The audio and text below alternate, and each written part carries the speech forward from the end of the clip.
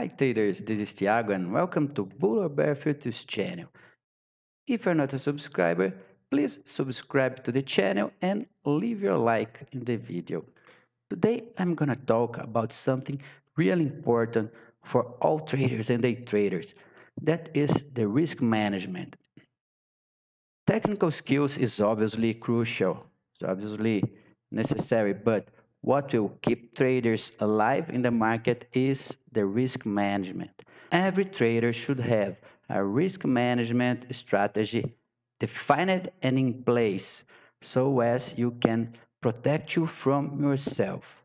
NinjaTrader's a couple of months ago launched a new account portal where you can establish a series of parameters for locking your platform when reached upon defining your strategy, you can put the limits on the platform and it will work real time to protect you. Let's move to my screen and I will show you how to configure it. On NinjaTrader's website, you just make the login. You will be directed here. If you did not migrate your account yet, you need to migrate, or if you're not registered, you will register, okay? Then after logging in, you will be redirected to your account page and on it, you will click the risk settings. Here you have five parameters where you can establish limits from daily loss to real-time trailing drawdown. In each one you have a help that may support you when defining the parameters, okay? From all of these, most important for me are daily loss limit and the real-time trailing maximum drawdown. It's important to note that when you define the limits, for example, you establish your limit here in the daily loss, this limit will be not only your profit or loss, but it includes also the fees and commissions. That means all the expenses involved. So here you can establish and also here,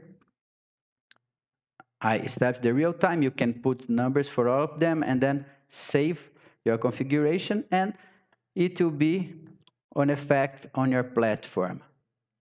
This one is possibly the most important for me because it counts the losses from the top profit I had during the session. It does not mean the profit I had when I was flat, but if in any trade I reached any profit and gave it back within the, the trade, for example, I was making profit and was stopped with loss. It will count from that top, my day's top reached, and we'll subtract the amount I defined as maximum drawdown. Okay, for example, I started with an initial balance of $100 and my stop loss is $30. So when I put this here, this $30 would include fees and commissions, okay? It would not only be the traded profits or loss. In the maximum trading drawdown, if in any moment I reached for example, $120.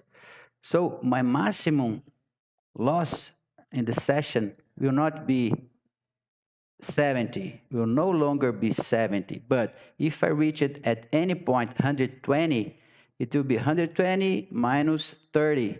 So my maximum stop loss, my platform will lock with $90. So from my initial balance would be only $10. I think this has not only this financial uh, effect, good effect, but for me, it's also maybe more, even more important, the psychological effect of it, because any loss is, is for traders, uh, any loss is not that good. But when you're on gain, when you're making profit and give this back and finish the day losing your maximum stop or you stop the day at the maximum, having made profits before, this is, is terrible. So in the long run, this will save lots of money and will be psychological beneficial as well.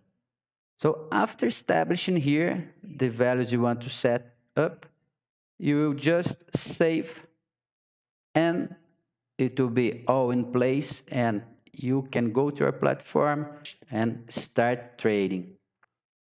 If it locks, we had previously here something that when your parameters were reached, it locked the platform until the end of the session.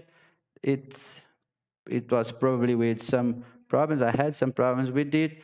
They block it now.